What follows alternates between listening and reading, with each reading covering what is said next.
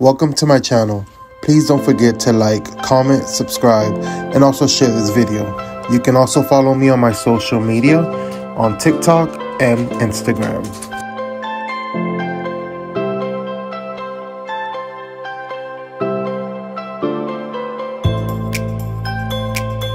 So I picked up a pack of these gold eggs from the Dollar Tree.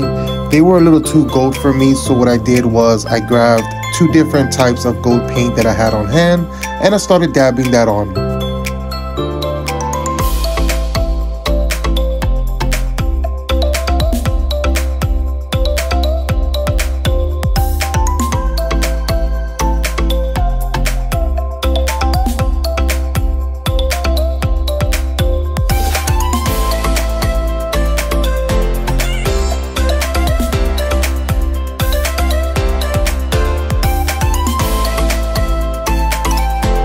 I then picked up this pack of two garden metal wreath forms and in between them I started stuffing this floral.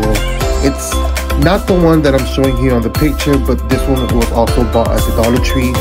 You can also use the reindeer moss. I went ahead and placed um, my eggs into my wreath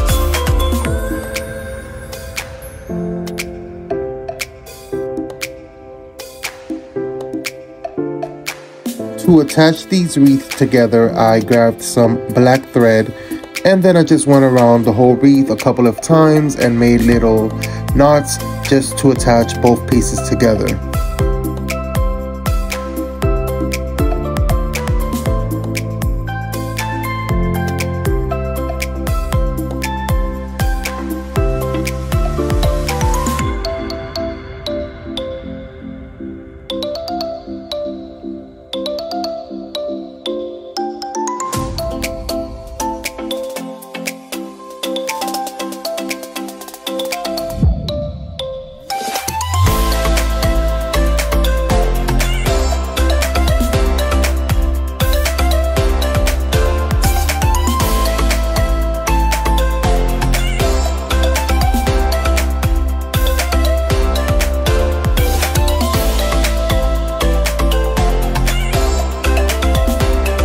Once I hung my wreath up, I added this little wooden bunny to the middle.